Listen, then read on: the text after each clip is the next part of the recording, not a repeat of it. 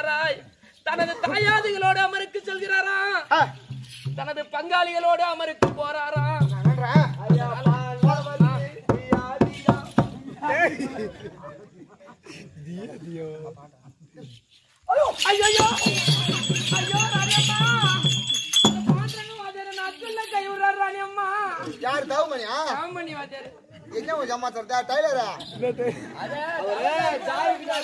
ஐயோ இப்படி உட்கார் பின்னாடி உட்கார் ஐயா முக்கியமான கட்டம் யாரும் பேசாதீங்க. ஆமா. ஏம்மா? ஐவர் ராஜாக்கள் சண்டை பரம்பரை. ஆமா. இவரோ இடுகுலத்தோர். சொந்த பங்காளி என்று சொல்கிறார். தாயார் என்றால் பங்காளி குறிக்கிறது. அங்கு பங்காளி நீக்கி. அன்று திருமண பந்தலை கொடுத்தவர் தாம்பலம். அந்த தாம்பலத்தை கையோட வாங்கி சொன்னாரா? பங்காளி என்று பட்சத்தை நீக்கி சமராய் யுத்தத்து போகிறார். அப்படி என்று கூறுகிறார். இவரோ இடுகுலத்தூர் ஐவர் ராஜா சொந்தகுல பரம்பரை. அவங்களுக்கு என்ன என்ன சம்பந்தம் இருக்கு? புரியல. என்ன சம்மதம் எனக்கு ஒன்று தெரியலையம்மா அதனால இங்க இருந்தால் நமக்கு விவரம் முடியாது சரி. அங்க இருக்கக்கூடிய இடம் ஐயா ஐயா சாமி உங்க கையெழுத்து குமர சாமி இப்பதான் போய் வந்தேன். கொஞ்ச நேரம் அப்படிதான் இருக்கும் ராமஜி எனக்கு ஒரு கட்டி கொடுத்தா நானும் சாமி. கொஞ்ச நேரம் கம்முன்னு இருங்க. அதே கம்பெனி பேசுறேன். அதனால் இங்க இருந்தால் விவரம் முடியாது அப்படி இருக்கக்கூடிய இடம் சென்றால் தான் விவரம் முடியாது போலாம். அம்மா அம்மா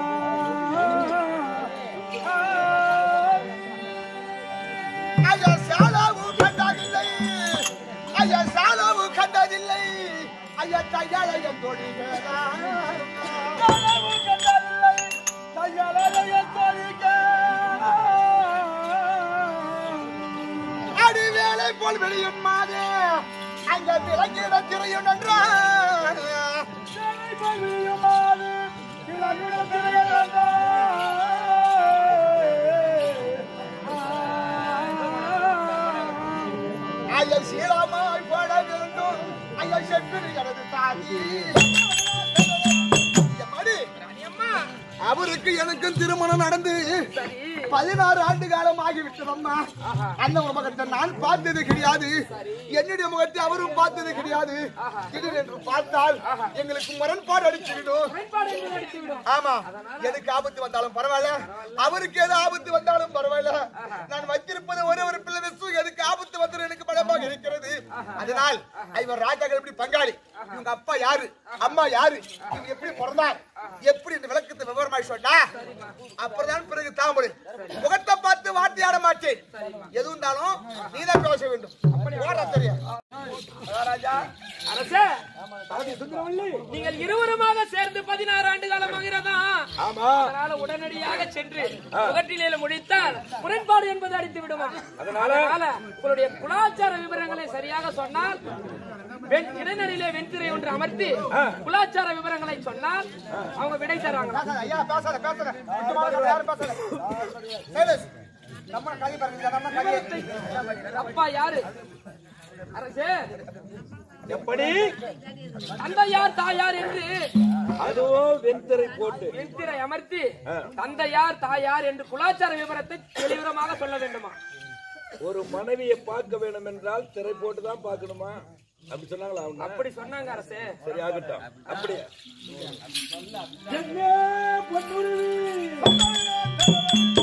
ஏழாண்டு சுந்தரம் கேட்கிறா ராணி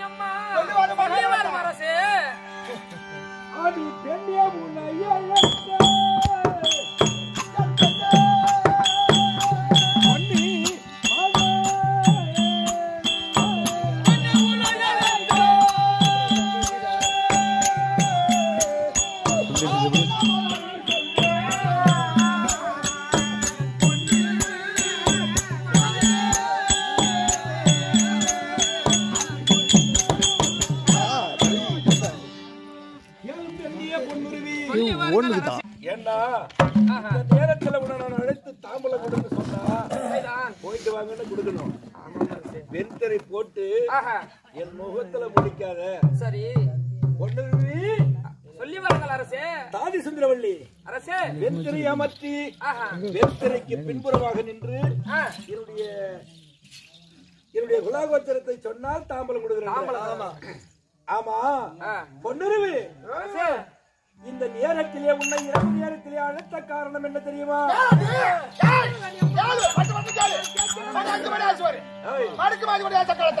பதினாறு வருஷம்.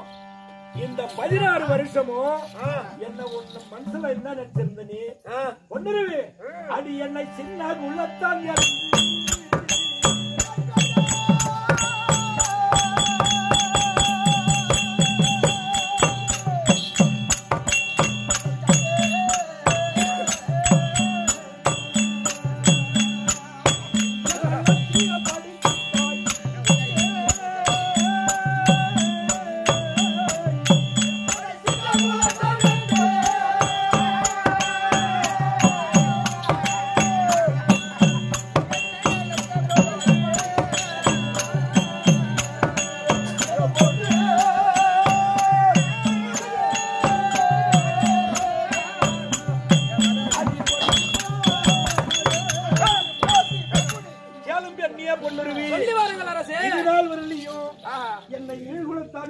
என்றும். சம்பாலன் என்றும் ஏர்பாகன் என்றும் ஏழான ஜாதிக்கெல்லாம் கீழானவன் என்றும் இந்த பதினாறு வருஷமும் நீ நினைச்சது அப்படிதான்.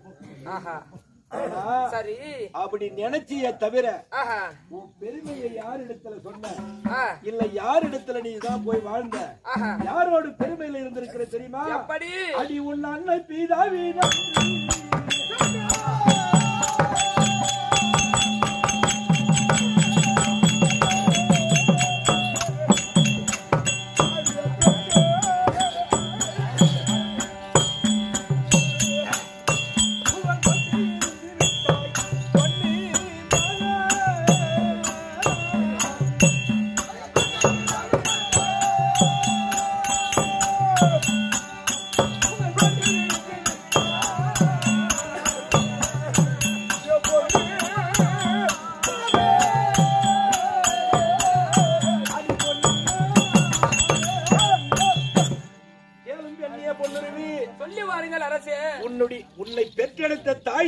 பெருமைன்னு தான் நீ வாழ்ந்த. ஆனா ஒரு காலமும் இந்த கணவனை நினைச்சு நீ வாழ்ந்திருந்தீனா வாழ்க்கை விரவேது மூலமாக மாறி இருக்கும். உன்னை பெற்றெடுத்த தாய் தந்தைய பெருமையை என்று நினைத்து நீ வாழ்ந்திய தவிர. ஆனால். வாழ்ந்ததுக்கும் ஒரு காரணம் இருக்கிறது எப்படி எதனால் தெரியுமா எதனால உன்னை விட எனக்கு என்னை விட உனக்கு. அடி முன்னங்கையா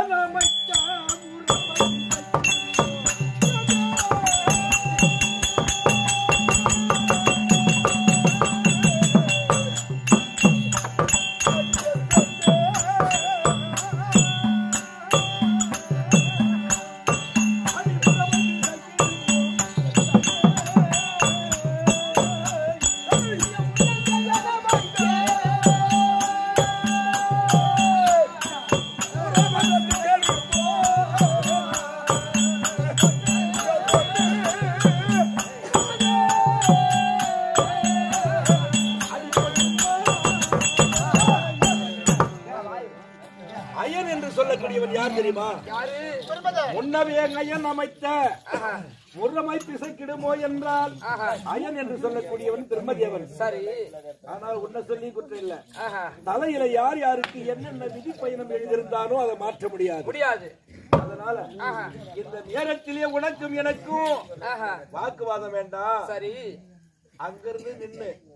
இந்த பக்கம் உன்னை தாம்பலம் தான் கொடுன்னு சொல்றேன். ஆமா. காரணம் என்ன? ஐயனாகியக்கூடிய திருமணத்தின் தலையில எப்படி எழுதினாரோ அதையும் மாற்ற முடியாது. அதனால வெடிகாலம் ஆனால் சூரியன் அஸ்தமாக போகிறது. அருணன் என்று சொல்லக்கூடியவன் ஆமா. தேர் சாரதில் அமர்ந்து அமர்ந்து. அடியா அருணன் உதயம்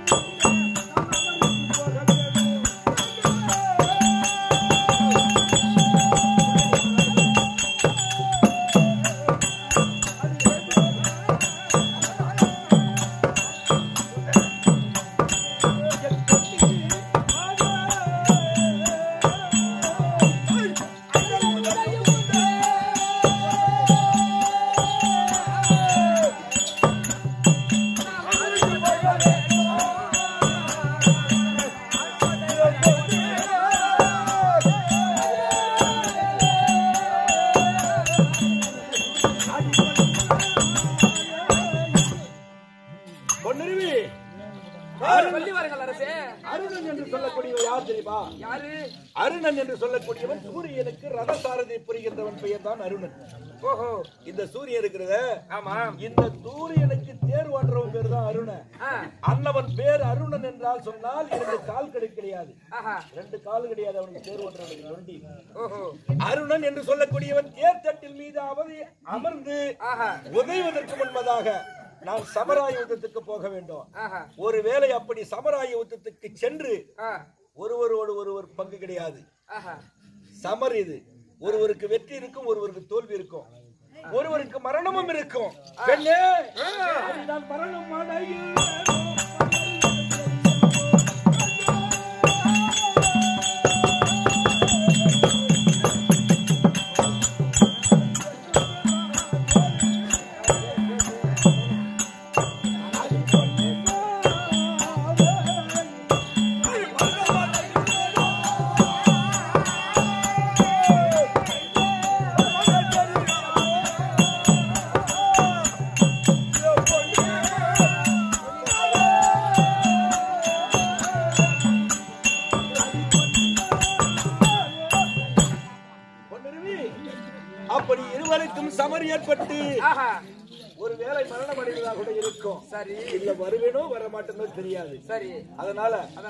இந்த வெண் திரை இருக்கிறது அல்லவா. என் முகத்திலே நீ முழிக்க வேண்டாம். பொன்னிருவி. அந்த பின்புறம் முன்புறமாகவே நின்று விட்டு ஆமா. பின்புறமாகவே கை தாம்பளத்தை கொடுத்து அடி திரையின் மறைவாக நின்று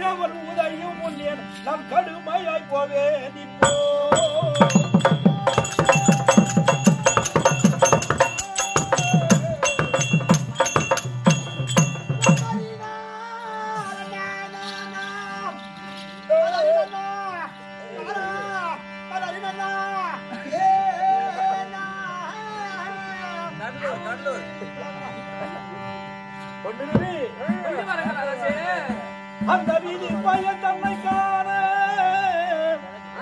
இந்த விதி பயன் தன்னை காண அந்த தேவனும் அறிய மாட்டான். விதி பயன் தன்னை காண அந்த தேவனும் அறிய மாட்டான். அடிமதி முகமுடைய பெண்ணை எனக்கு மதித்து அரசே அஸ்தமாவதற்கு முன்பதாக நான் சமராயுதத்துக்கு செல்ல வேண்டும். சரி. இந்த விதியாகப்பட்டது யாருக்கு என்று தெரியாது. ஆஹா. அதனால சரி. ஐயனாகிய கூடிய பிரம்மதேவன் எப்படி எழுதினாரோ அதை மாற்றவும் முடியாது. ஆஹா. திரையின் மரபாகவே நின்று எனக்கு கைத்தாமலம் கொடுத்து ஆஹா. சென்று வாருங்கள் மன்னவாரி என்று சொன்னால் ஆஹா. நான் சமருக்கு சென்று வருகிறேன்.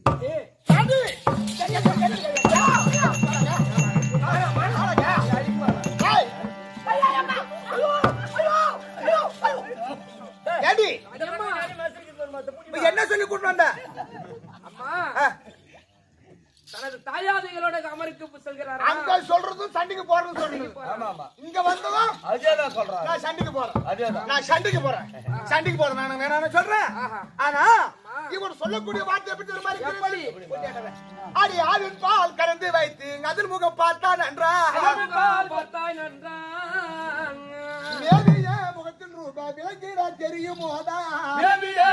ரூபா விளங்கிடா தெரியும் இந்த வாழ்வையும் இரண்டாம் நாளும் வையகமே முழுகிட்டாலும் ஐயகமே முடங்கிட்டாலும் தீவினை வந்த போதிலும் அவர் குலம் தெரியாமல் பேசலாமோ ஏண்டி? தெரியுமா?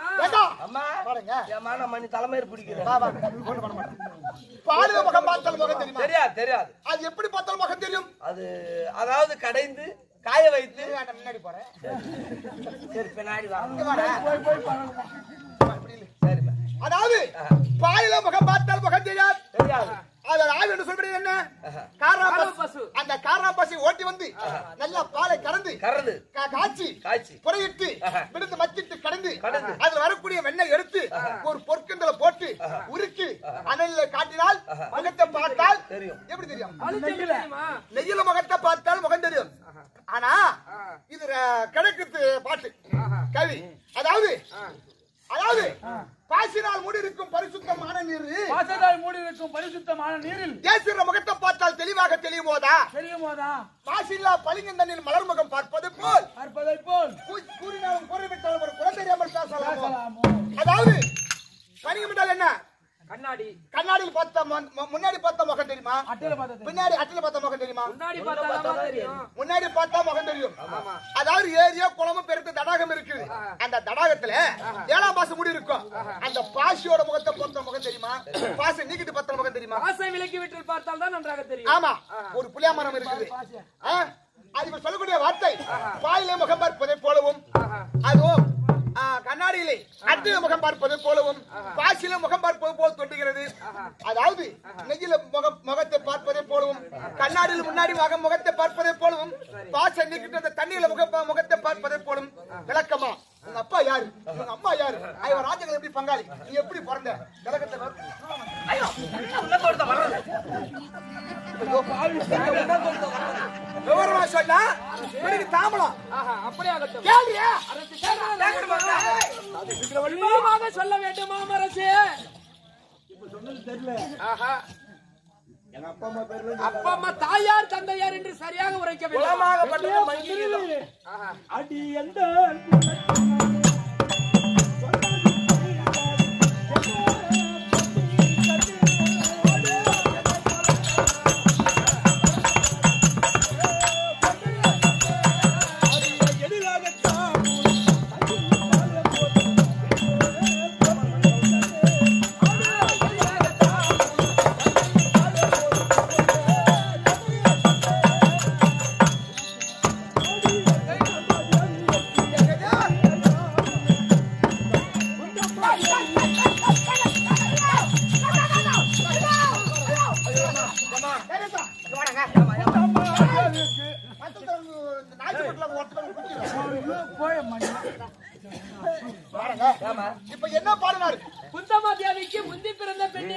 சொன்னாங்க. குந்தமாதேவிக்கு பிறந்தவரா இவர் சொல்லக்கூடிய வார்த்தை எப்படி தெரியுமா இருக்கிறது?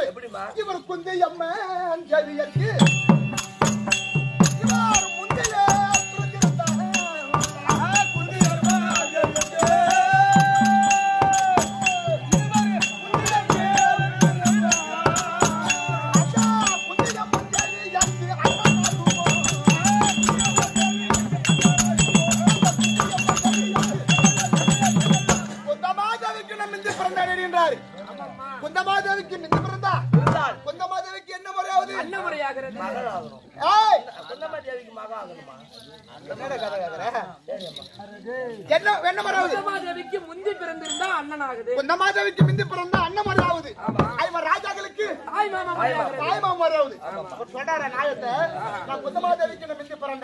நான் மிந்து பிறந்தனா? குந்தமாதேவிக்கு அண்ணன் முறையாகும் ஐவர் ராஜாக்கள் தாய்மாமா முடியும். கேளு, கேளு. மானம், தாய், தாய், யாரு உட்காரு, உட்காரு.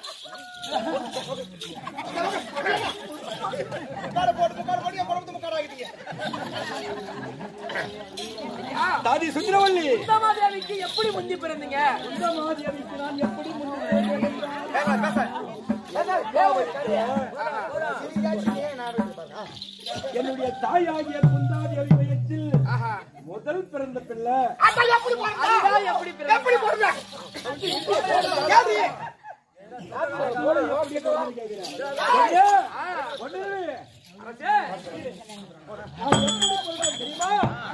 அவன் கேக்குறான்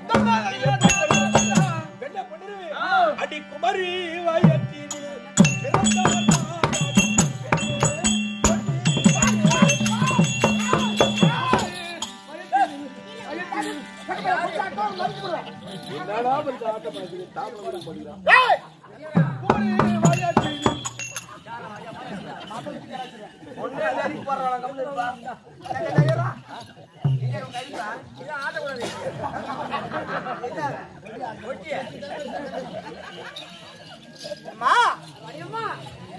காரியம் உனக்கமா கேட்கறான் கம்முனு. அமைதியா பரவாயில்ல, நாலு சின்ன ஊர் இருந்தாலும், எக்கா, எக்கா, வா, உட, உக்காரு.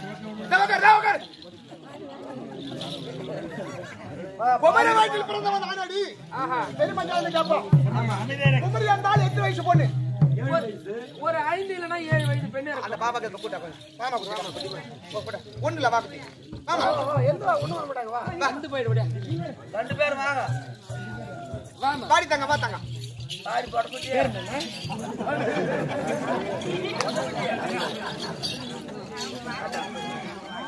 பாப்பா பேரு என்ன குட்டி என்ன பேரு? அசிதா எத்தாவது படிக்கிற? ரெண்டாவது. வா. குமரி என்றால் இதுதான் குமரி. சரி. ஒரு ஐந்து வயதுல இருந்து ஒரு ஏழு வயசுல பொண்ணுதான். ஆமா. இது தக்க பருவதுதான் குமரி. தானே ஏழு வயது பேரு இதுதான். ஆமா. ஏழு வயது குழந்தைனா குமரி என்றால் இதுதான் குமரி. டேய் கேக்குறமா மா வணக்கம்மா. வணக்கம்மா. என்னம்மா உன் பேரு? அசிதா எவ்வளவு படிக்கிறீங்க? ரெண்டாவது படிக்கிறீங்களா? எதனா ஊருக்கு தெரிய பிள்ளைகள் வாங்கி வச்சிருக்கீங்களா இல்லடா சாண இல்லடா சாண குண்டு இல்லடா சாண குண்டு சொல்லு சாணை குடிச்சுடா. சாணை கூட குடிச்சிடுறேன் புள்ள வச்சிருக்கிறதா எது ஒன்று சொல்றேன் மிரட்டுறேன் கோடி குட்டி போமா போய் சாமி போய் உட்காந்து குச்சி குட்டி. ஆ குமரி என்றால் இதுதான் குமரி. எப்படி குமரி. என்றால் அதுதான் குமரி. ஆமா. ஏக்கா அந்த வயசுல புள்ள பாப்பான யாரும் அனுப்புவாங்களா நம்ப மாட்டாங்க. ஆனா நான் குமரி வயசுல பிறந்தேன்னு சொல்றாரு. எப்படி பிறந்தா? எப்படி பிறந்தாங்க? யாருகிட்ட கதை இருக்கிறேன் ஐவர் ராஜா எப்படி பங்காளி? அம்மா யாரு? அப்பா யாரு?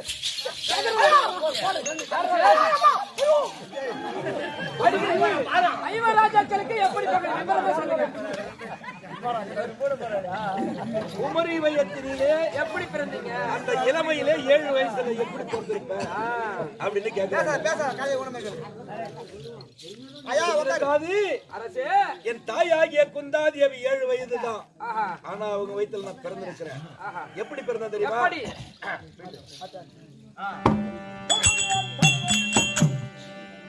கண்ணியில் குந்தாதேவி அம்மா கவனித்தால் பார்க்கிறீர்களே கண்ணில் குந்தாதேவி. கவனித்தால் பருதி தண்டை வண்ணமாய் கதிர்வன் வந்து எந்த தாயை வளர்ப்பமாய் சேர்ந்த பின்பே.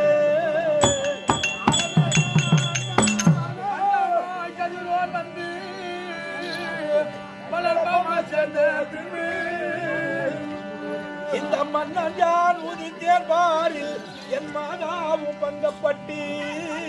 யார்? உதித்தேன் பாரு என் பங்கப்பட்டு. என்னையும் பேழையில் வைத்து அவள் எகிட செய்தாளாற்று. எப்படி என்றால் எப்படி? இளமையிலே எப்படி என் தாயாகிய குந்தாதேவி பெற்றெடுத்திருக்கோம் அப்படின்னு கேட்டாங்க. ஆமாங்க. இப்ப சொல்றேன். சின்ன சிறு வயதிலே நான் பிறந்திருக்கின்றேன். காரணம் என்ன தெரியுமா? தூர்வாசர் மகாமுனிவர் இருக்கிறார் பாரு. ஆமாம். தூர்வாசர் மகாமுனிவராகப்பட்டவர் ஒரு ஒரு நாடாக சென்று சில காலம் தவம் புரிவது வழக்கம். பேசாத. ஒரு ஒரு நாடாக சென்று. சில காலம் தவம் புரிவது வழக்கம். அப்போ குந்தி போகரஜரோட நாட்டுக்கு நாளைக்கு வராரு. நேராக வந்தார். ஆஹா. தூர்வாசர் மகாமுனிவர் குந்தி போகராஜனை பார்த்தார் ஐயா. எல்லா நாடு முடிந்து விட்டது. நாளைக்கு உங்களுடைய நாட்டுக்கு நான் தவத்துக்கு வர போகிறேன் அந்த தவத்திலே அமர்ந்து கொண்டிருப்பேன். அங்கு இருக்கக்கூடிய பொருள்களை. எடுத்து கொடுப்பதற்கு ஒரு பணிவிடை ஆள் வேண்டும். அப்படி என்று கேட்டார். ஆனா. குந்தி போகராஜன் என்ன செய்தார் தெரியுமா. நேராக சென்று வீதி வீதியாக சென்று சென்று ஒரு ஒரு வீடா கேட்டு வராரு. கேட்டுன்னு வராரு. யாராவது பணிவிடை வேலைக்கு வரீங்களா? ஆளுக்கு ஆள் கேட்டு வராரு ஒரு ஒரு ஒரு வீட்டா கேட்டுட்டு வராரு. அவங்க கேக்குறாங்க யாருகிட்ட வேலைக்கு? ஆஹா. யாரிடத்திலே பணிவிடை வேலைக்கு அழைக்கின்றாய்? கேட்க கேட்டா. அப்படி கேட்கின்ற இடத்திலே தூர்வாசர் மகாமுனிவர் அழைக்கின்றார் சொன்ன உடனே அம்மா சாமி நான் வரல ஐயா. வீட்டுக்கு. அந்த இடத்துக்கு நான் வரல. காரணம் என்ன? என்ன? தூர்வாசர் மகாமுனிவராகப்பட்டவர் சரியாக தவம் புரிந்து கொண்டிருப்பார். அந்த தவத்திலே தவறாக புரிந்து பணிவிட வேலை தவறாக செய்து விட்டால் சாபத்தை கொடுத்து சாபத்தை கொடுத்து விடுவார். சாபம் நமக்கு நேர்ந்து விடுமோ? நாம தெரியாமல் செய்து விடுமோ என்று